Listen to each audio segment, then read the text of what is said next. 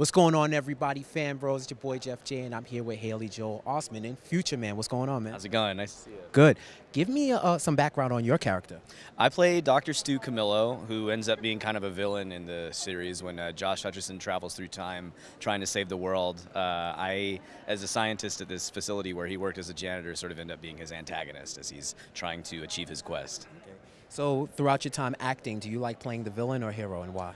I think a lot of actors will say, and I am included in that, that playing the, the bad guy is usually the most fun you'll have. There's uh, there's plenty of great good guy roles, but the bad guy really you know allows you to sort of let loose as an actor and do some crazy stuff. And as you'll see in, in later episodes, that really happens with my character.